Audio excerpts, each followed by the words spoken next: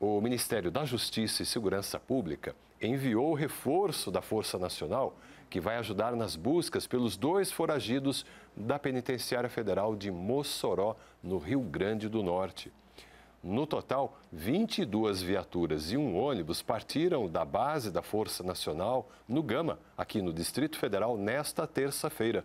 100 agentes da Força Nacional vão atuar nas buscas. O efetivo, formado por policiais e bombeiros militares que já integram a força, atuará por 30 dias em Mossoró. Segundo o Ministério da Justiça e Segurança Pública, as buscas não têm prazo para serem finalizadas.